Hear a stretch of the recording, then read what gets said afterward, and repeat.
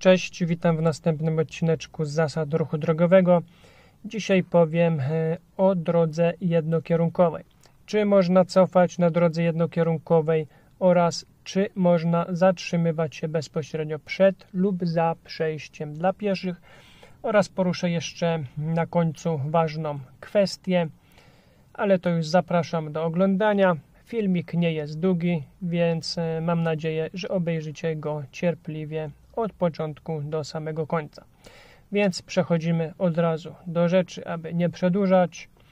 Na drodze jednokierunkowej możemy zatrzymywać się przed przejściem dla pieszych, ale musimy zachować minimum 10 metrów odstępu. Dlaczego? Otóż chodzi o to, e, aby pieszy miał dobrą widoczność, czy nadjeżdża pojazd, a także jest to e, związane z widocznością dla kierującego, który zbliża się pojazdem do przejścia i aby miał tą widoczność już zawczasu. Natomiast y, możemy zatrzymywać się bezpośrednio za przejściem dla pieszych. Tutaj już nie ma wyznaczonych żadnych metrów, y, więc możemy zatrzymać się bezpośrednio za przejściem dla pieszych. Więc e, tak to wygląda, mm, jeśli chodzi o parkowanie za czy przed e, przejściem dla pieszych. Następna kwestia to jeśli chodzi o cofanie na drodze jednokierunkowej, to możemy oczywiście cofać, jeśli nie stwarzamy zagrożenia oraz nie tamujemy ruchu.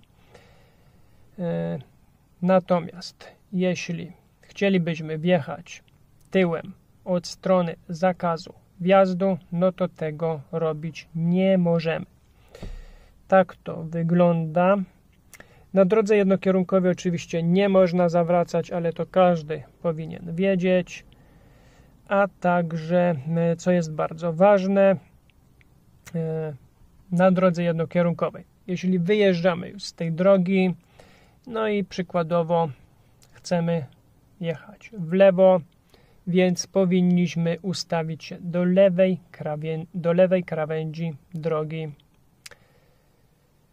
Jest właśnie kilka dużo takich błędów przez kierowców. Mówiłem już o tym e, w jednym odcinku, e, na który serdecznie zapraszam. Filmik był pod tytułem Mylone znaki, nakaz jazdy prosto oraz droga jednokierunkowa na który serdecznie zapraszam. Tam też o tym wspominałem, ale teraz wspomnę drugi raz, ponieważ jest to bardzo ważne.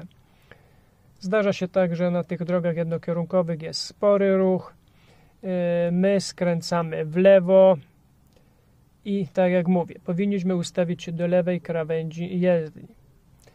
Nie możemy tego robić yy, z prawej krawędzi jezdni, ponieważ tamujemy ruch, pojazdy za nami, które chcą skręcić w prawo bądź e, chcą pojechać prosto, nie mają tej możliwości, no bo blokujemy tą całą szerokość jezdni.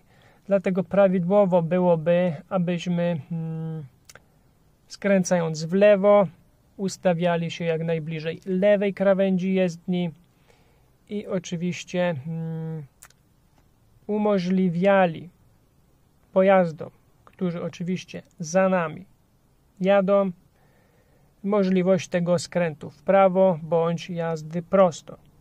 Dlatego, jeśli ktoś robi taki błąd, serdecznie prosiłbym, aby poprawić się w tej kwestii. No i to by było na dzisiaj tyle, jeśli chodzi o drogę jednokierunkową. Mam nadzieję, że taki filmik się podobał. Jeśli tak, to zachęcam do zostawiania lajków. Piszcie oczywiście komentarze oraz subskrybujcie kanał, aby być na bieżąco z nowymi filmikami. No i do zobaczenia. Trzymajcie się. Hej!